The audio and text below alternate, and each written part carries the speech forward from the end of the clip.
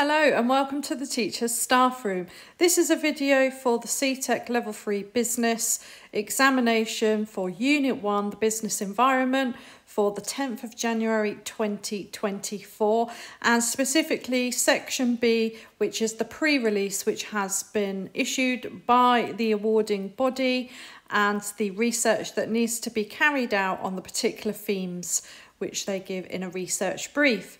Now, if you have a copy of this PowerPoint, then you can follow this along and then make your own notes in your PowerPoint. However, if you do not have a copy of this PowerPoint, do not worry. I have added a link in the description below of where you can get hold of it. However, you do not necessarily need this. You could just open up your own PowerPoint and add the different sections based on this video. So let's get started. So as I say, the exam is 10th of January 2024 and it is a two hour examination. There is only one paper, but it is split into three different sections. So section A comprises of multiple choice questions, so you'll have 20 of those to answer. Then section B comprises of short answer questions and questions requiring more extended responses based on pre-released research briefs. So that's what we're looking at today. And then section C comprises of short answer questions and questions requiring more extended responses again based on an unseen scenario which we tend to call a case study. Now you'll be pleased to know you can take a calculator into the exam but what that does mean is that you will probably get in questions which require a calculator to answer so particularly finance questions is where you're going to be using your calculator.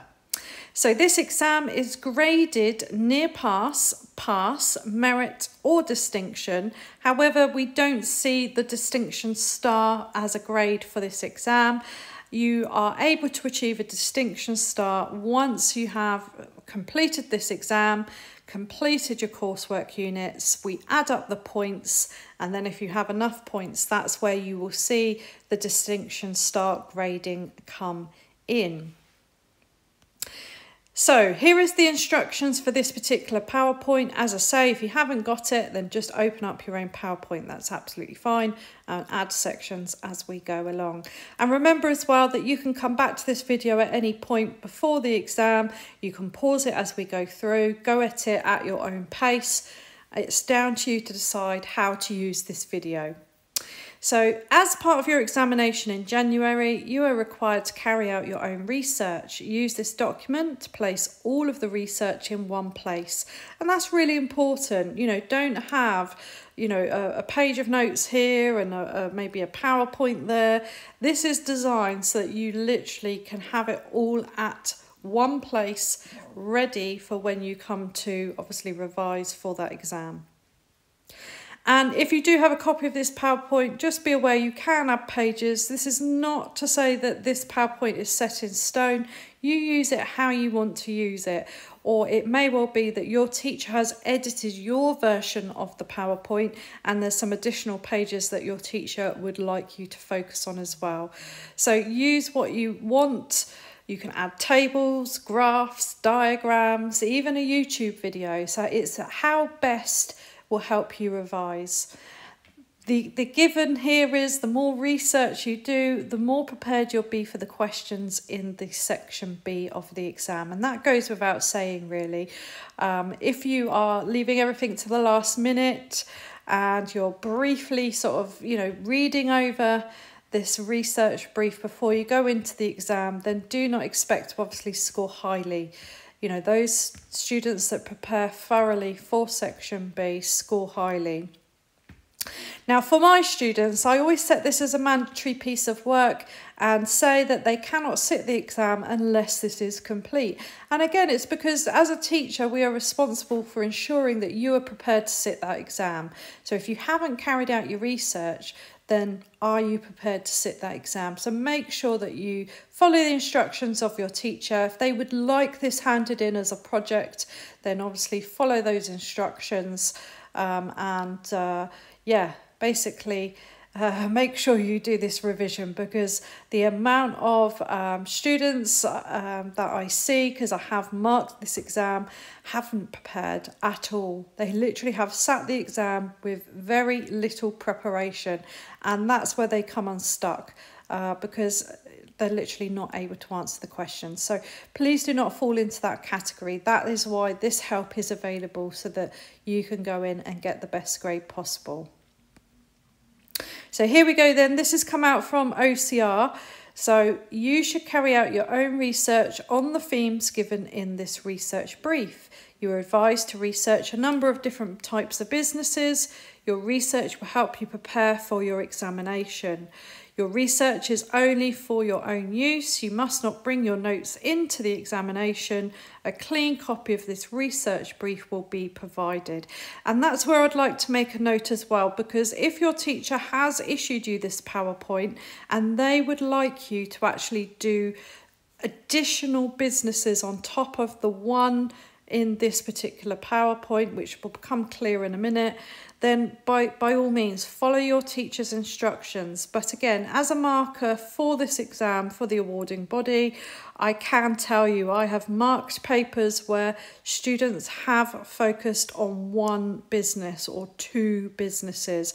And this year, I instead of doing the five businesses, I've drilled it down to the one because all of these themes that you need to research can fit into one business. But as I say, if your teacher would like you to look at different types of businesses, so for example, something from the private sector, something from the public sector, something from the voluntary slash charity sector, then again, you follow their instructions. But as I say, I found that all of these themes fitted nicely into one. And I can assure you that when your paper is marked, uh, the examiner is not looking at the number of businesses you have covered. I can promise you that.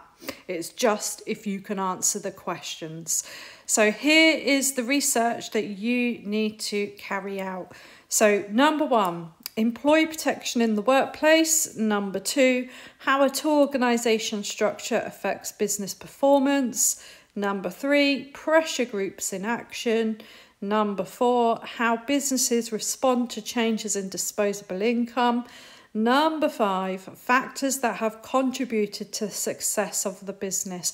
And as I say, in the past, we would do a business for each of those. So you would have done five businesses. But as I say, I've made it as simple as possible this year so that we can get some quality answers and maximise those, those, those marks.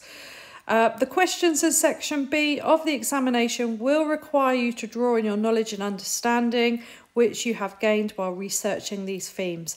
And also, it's important to note it's knowledge that you have gained throughout learning the whole of Unit 1. So, none of these things should be a surprise.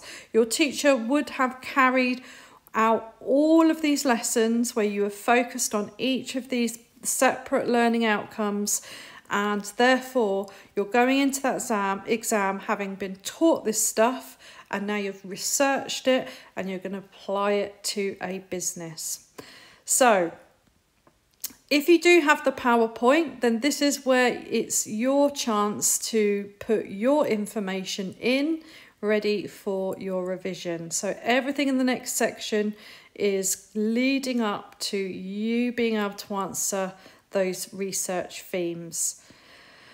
So, as I say, this year I have focused on one business, which is Tesco's, because you can actually work those themes all into the one business. But again, follow your teacher's instructions if they do want you to look at some other business types as well.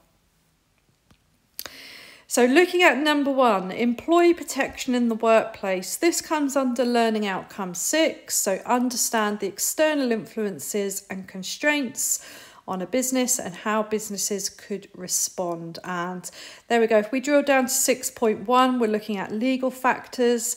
And then if we look on the right hand side, when we're talking about legal factors, we are talking about things such as employee protection.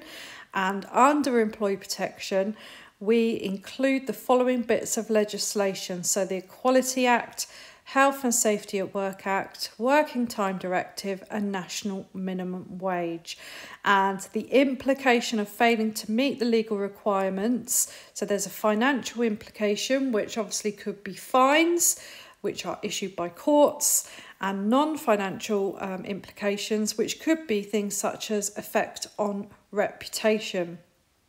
And that's also a non legal implication as well. So, what we are planning is focusing in on that learning uh, outcome there, learning outcome six. We're going to drill down to employee protection by having a look at all four of those different bits of legislation and then the implication of failing to meet those for Tesco employees. So the next part is from the textbook.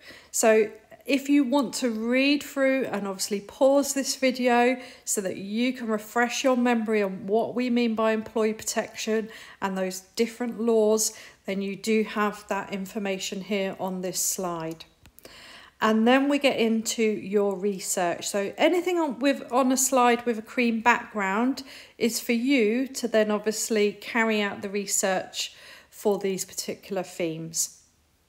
So what I've done here is I've I've given a little space so that you can write your definition. So what do we mean by employee protection? So just be clear in your mind. If you had a question asking you, what is employee protection in the workplace?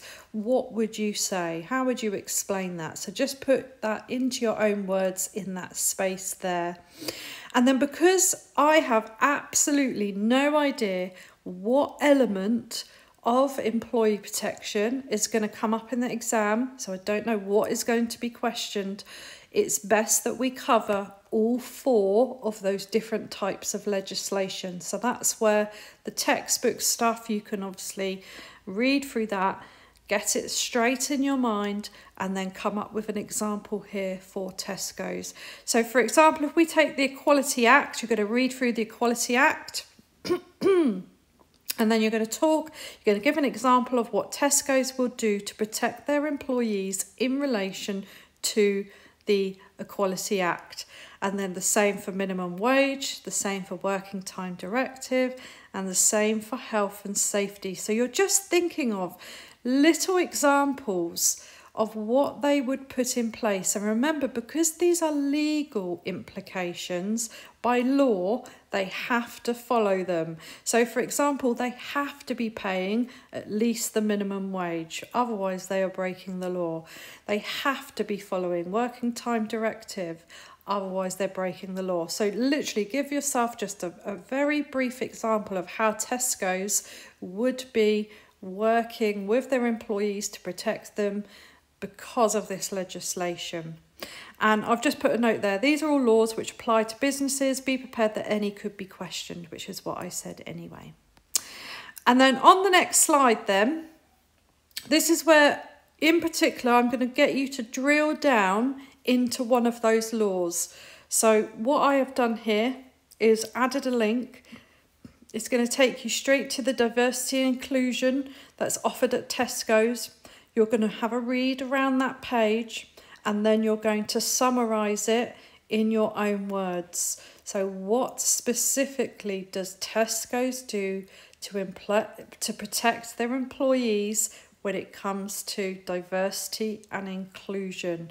And remember, the diversity inclusion is linked to the Equality Act. That is what they've had to put in place because it is a legal requirement. So read that link through and then you're going to summarize that on this slide here. Now what you might want to do is add a few more slides and do exactly the same for the minimum wage, exactly the same for working time directive and exactly the same for the Health and Safety Act so that you are using the Tesco website www.tesco.com you're finding the information of what they specifically have put in place for each of those bits of legislation to protect their employees. And remember as well, think about the implications. So, why have they put them in place? And again, that comes back to that first slide because otherwise there's fines. So, we're seeing a real financial impact there. It's going to cost them, in some cases, it could be hundreds of thousands, if not millions of pounds, if they break these laws. And then obviously think about the non financial implications, non legal implications, which are bad reputation, it might be loss of customers. Your brand is going to take a hit because people will associate your brand with you know lower poor working conditions. You may then not be able to recruit things like that. So just make sure you cover all bases because again I, you know i don't know what questions will come up but certainly it's going to be along these themes and this year, what I have done is brought it all together and given you an example of a particular answer. And this one's in relation to if, for example, it came up that health and safety was being questioned in the exam. So here we go. Tesco protects its employees by um, uh, sorry, I can't even read my own writing there, by ensuring employees' health and safety is maintained. This means that employees feel safe in the workplace. For example, a store assistant will be stacking shelves with food. This must have sorry and must have the right safety equipment slash ladder. If they do not do this, this could lead to Tesco's facing costly court fines, which would impact their profits if fined. And obviously, in that particular example, I didn't sort of elaborate that if they didn't have the right safety equipment, it could lead to accidents in the workplace. But but it's just to give you a, a, a kind of idea of where you would be bringing this all together, so your knowledge of employee protection, that particular law, and then where it leads to for the business. Now, what I have done as well is put some bits in blue. This is showing the examiner that one, you've absolutely applied it to Tesco's because we're talking about store assistants, stacking shelves, food, which is relevant to this business.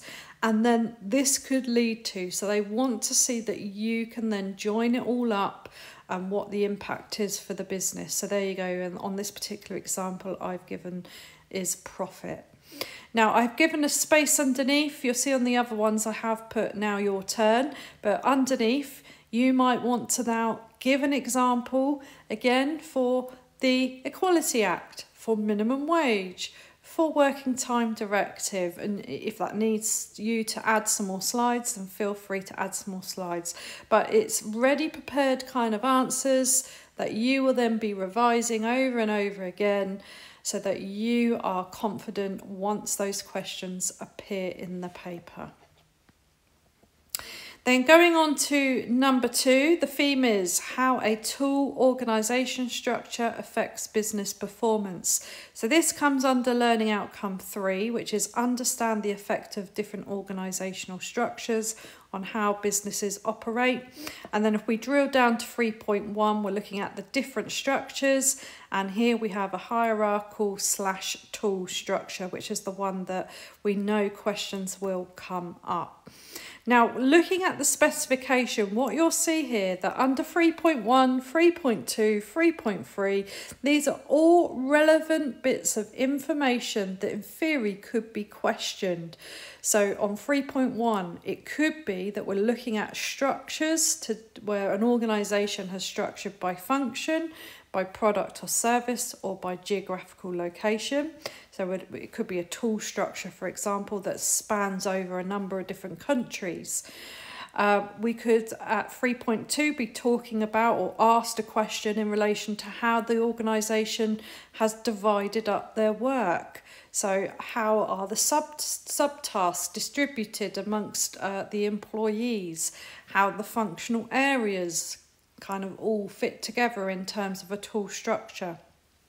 And then 3.3, the implications again. So we're talking about when we have a tall structure and maybe we've devised our organisation by function, it means it's easier to delegate tasks to subordinates. Authority can be delegated.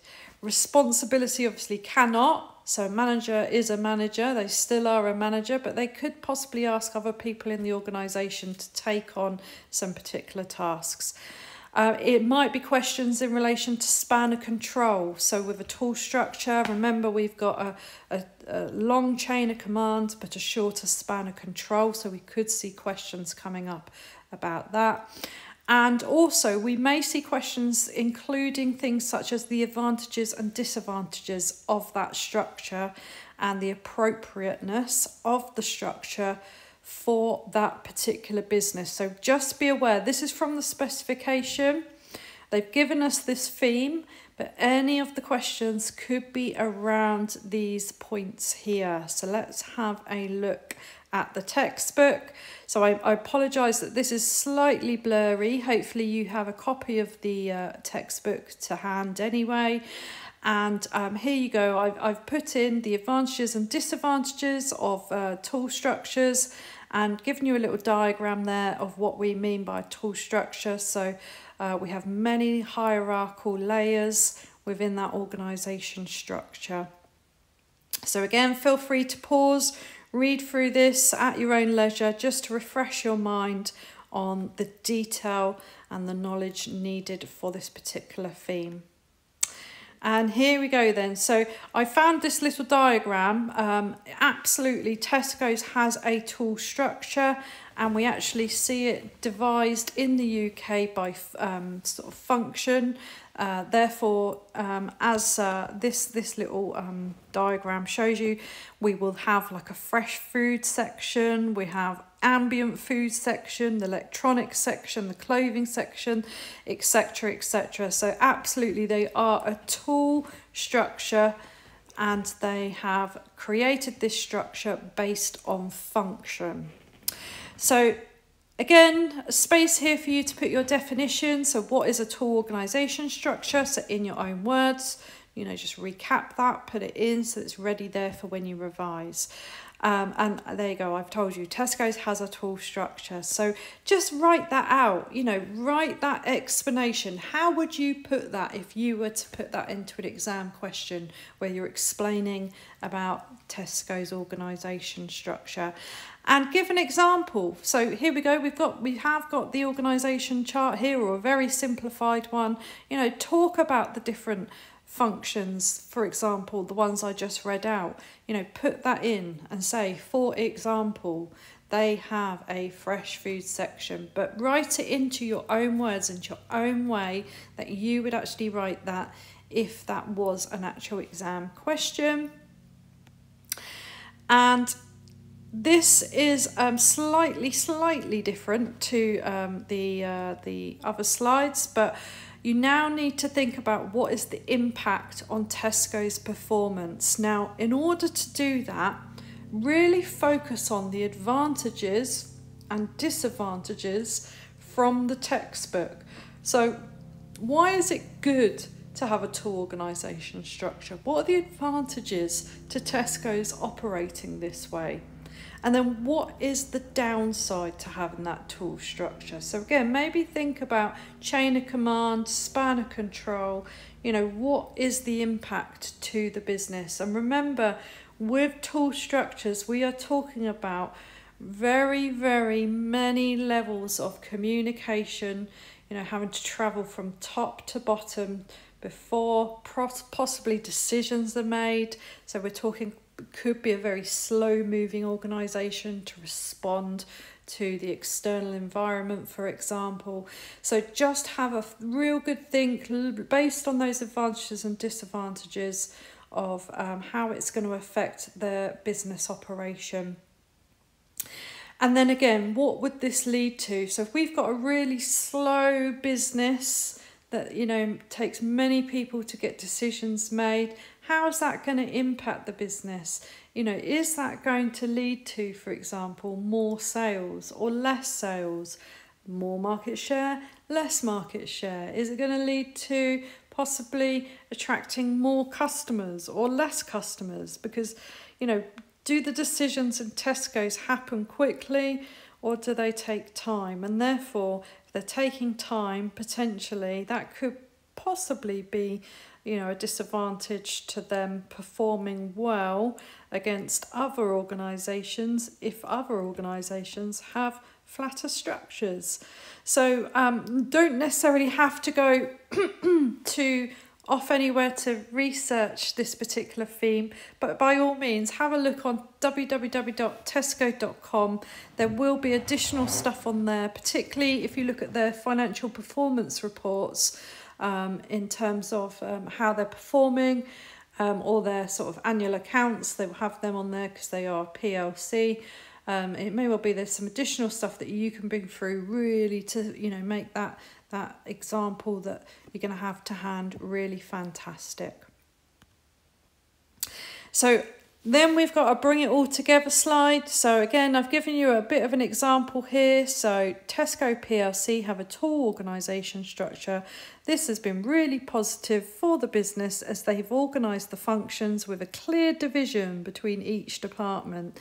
This has led to each section, such as the bakery section, having a manager with expert knowledge to train new employees in bread making, leading to more sales revenue and customers oh sorry as customers know the fresh the fresh bread is of high quality etc etc and again what i did is i just went to that table picked out some advantages there but be prepared to obviously it could be that we're focusing on the disadvantages if the question comes up. So be prepared for both, looking at both sides of that.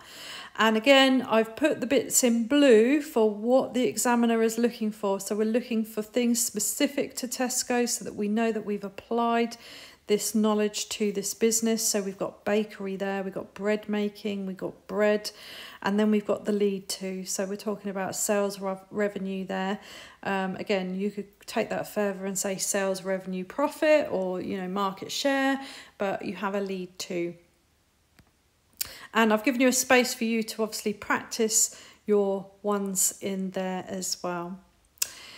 And then number three theme is pressure groups in action. So this comes under learning outcome five and understanding the relationship between businesses and stakeholders. So we can drill that down to 5.1 where we look in the specification, we've got uh, internal, external stakeholders, and then 5.2 where we look at different stakeholder groups to try and alter business behaviour. And then um, 5.2 as well, they, they're, they're saying here, consider practical examples from the real from real businesses, e.g. an environmental pressure group could protest about expansion plans of a business, causing negative media, publicity and a customer boycott um, or denial of, of planning permission. So I'm taking you through the specification there of potentially what could come up as particular questions. So again, bits from the textbook here of what is a pressure group. So we are talking about an external stakeholder here. So be clear that you know the details of what a pressure group is and then how businesses respond to the different pressure groups. And then I've got a table over here from the textbook, which is benefits and drawbacks of meeting stakeholder needs. So this is potentially all of the information that you can obviously bring through for a ready-made, hope, hopefully potential answer, um, and obviously based on potentially questions that will come up. So for pressure groups in action then again, so give us a definition of a pressure group, so in your own words, and then looking at Tesco's, it looks like, I think it was 2020, there was a particular pressure group called Farmers for Climate Action, which um, they, they've inserted the word climate, because I think they were called Farmers for Action, uh, but obviously climate change obviously is hot topic, so they've probably updated their company name there. So I've given you a link through to their website. Who are they? And what do they do? So there's a bit of information on their website. Um, they were lobbying over a particular uh, EU Brexit uh, potential you know policies that were coming in in relation to farming. So I've given you the article there. Um, and they wrote a letter to Tesco's, putting pressure on Tesco's to take action. But obviously, have a look at both of those links, read them through, and then you're going to add your research to this slide. And again, be thinking as you read through and putting your own bits onto this slide, what is the impact on the pressure groups on Tesco? So by having Farmers for Climate Action pressuring Tesco's, what is the impact on Tesco's? What do they have to do in relation to these stakeholders? Are they going to listen to them? Are they going to take action? Um, could it be that, for example, if they don't listen to the stakeholders, what could be the implications? Could it get worse, if not better? Those sorts of things. Because again, we don't know what is going to come up in those questions. So be prepared to think about both sides of listening to them and not listening to them, which is your sort of advantages and disadvantages of that table on the previous slide.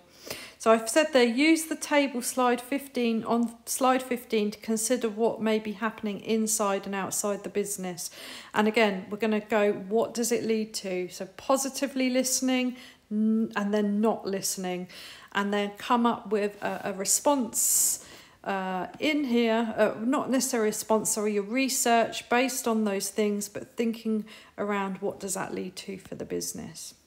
And I've kind of, I, I didn't want to give you everything, so I've given you a brief example here for you to kind of, you know, know where you would bring your detail in. So we're bringing it all together for a prepared answer.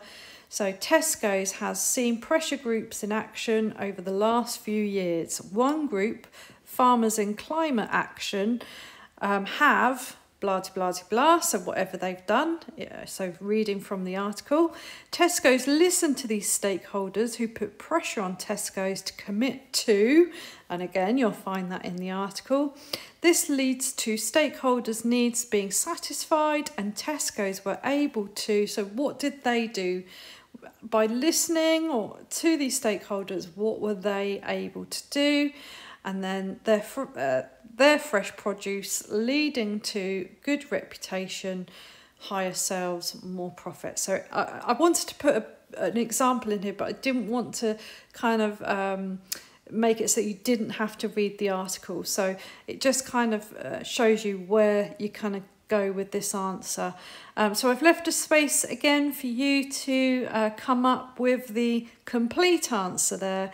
But again, remember, look at the good side of listening, look at the bad side of listening. So you might actually write two different examples in here.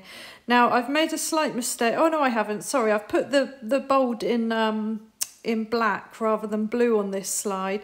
So the bold is the leads to and fresh produce, which obviously is related to Tesco's, but also even the mention of the, of the name of the pressure group. So farmers in climate action would also be seen as application because um, it is absolutely applicable to that business. You're not going to find that particular climate group, for example, um, lobbying the NHS. So we can use that as context um, for this particular business.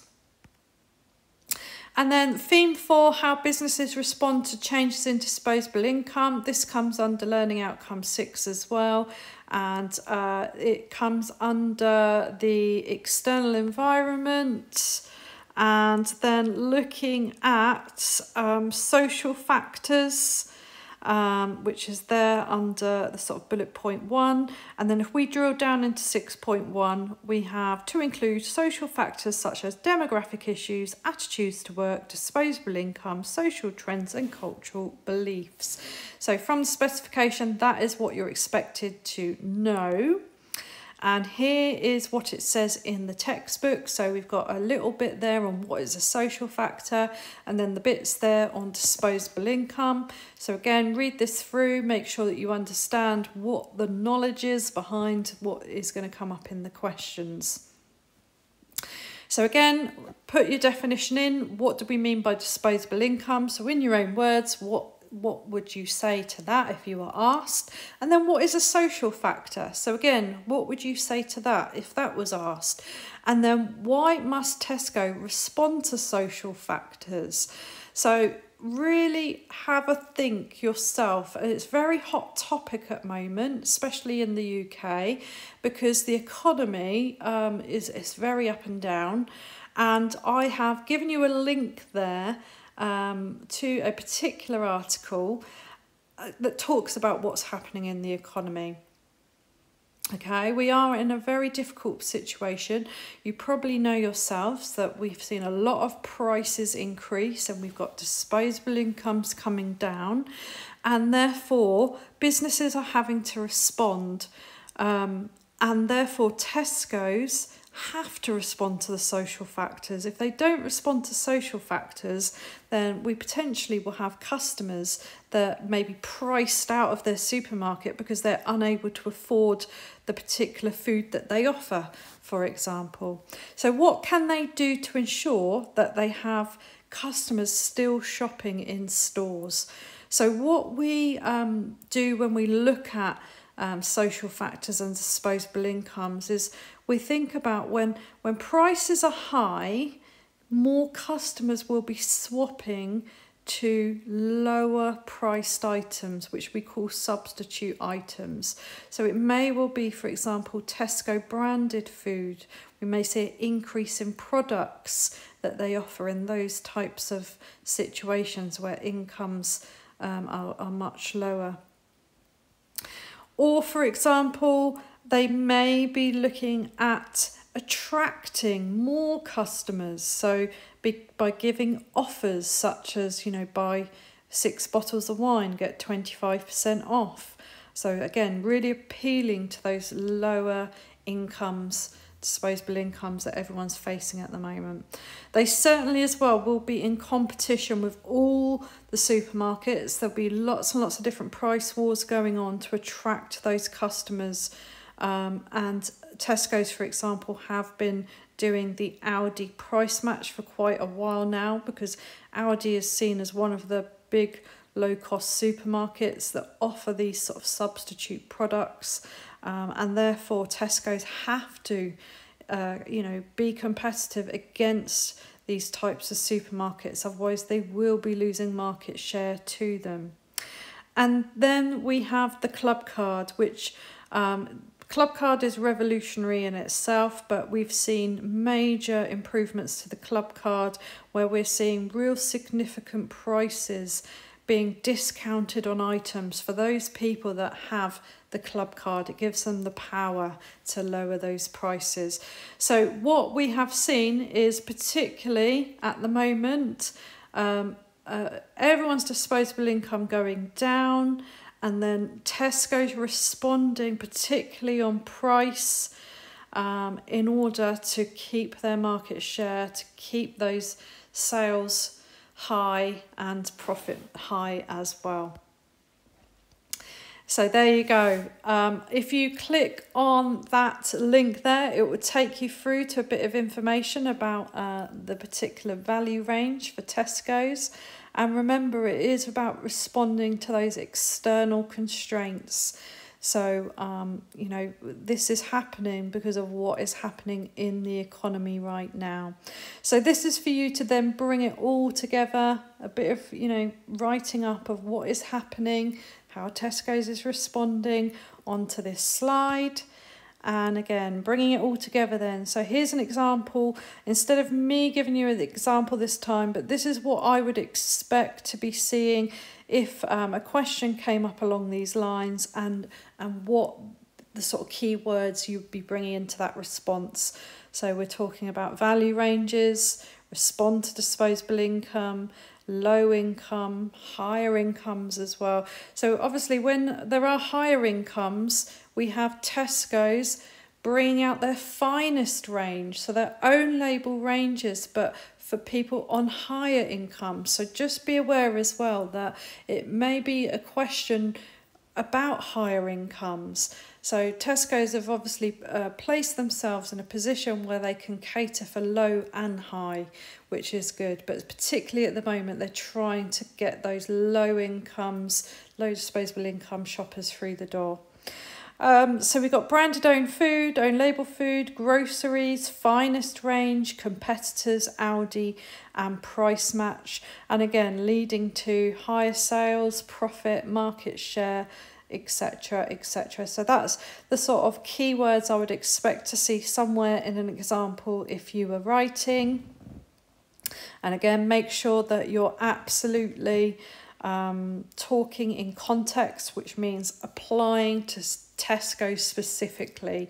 So the keywords that would apply it specifically to Tesco's would be things like finest range or their competitors such as Aldi or um, you know Aldi price match because that is something specific to Tesco's.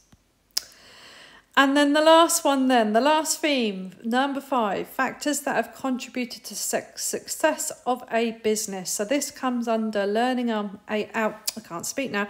Learning outcome number eight of the specification. And if we drill down there into 8.1, we got factors affecting success, failure of a business. So we've got financial, non-financial, short-term, long-term and then 8.1 to include past and present success slash failure. So what I've done again is I've given you the information from the textbooks that you're fully aware of what we mean by the success factors or failure factors because we're talking about financial and non-financial factors again. So read that through, pause it at your own leisure, take down your notes. And then here's the slide for you to put your information on. So what do we mean by financial factors? What do we mean by non-financial factors? So what has Tesco's achieved as a business which has contributed to their success? And then non-financial, what has Tesco's achieved as a business which has contributed to their success? Meaning looking at both of these, could you write down something as an example where they have been really successful and it's based on financial factors, non financial factors. Now, this is where you can really go to town with your research. I've given you three links there um, which cover financial and non financial factors um, which are applicable to Tesco's. So, the first one is a, a really great article about how they've become the UK biggest retailer. And that is absolutely going to be linking to the financial factors. So, of course, you know, if you look at their market share, they've got the biggest market share in the UK. Um, and I think as, as it stands today, I think every pound and eight is spent in Tesco. So this is a massive financial factor that has led to the success of Tesco's. Uh, they're obviously a PLC, so they uh, floated on the stock market as well, so they should sell shares. So that has been how they've been able to obviously get um, revenue into the business and grow the business to the size that it is today. And then non financial factors really and truly it is focusing on their club card which if you look at the non-financial factors on the textbook page what you will find is they talk about um, meeting customer needs and listening to customers. And the tesco club card has absolutely been the defining success of tesco's for that very reason that they're able to listen they're able to um, target customers because they have so much data that they are able to use that data um, and through that data it's given them competitive advantage and obviously this big market share.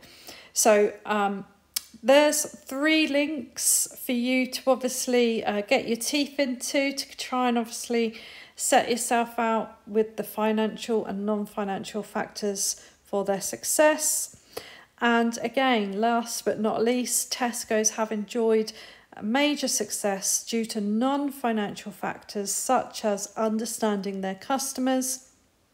They have successfully achieved this by using Tesco Club Card as a way to reward their customers for shopping and gain important information which has led them to, be, to being able to target customers with specific offers on food and clothing, which has led to an increase in sales and market share.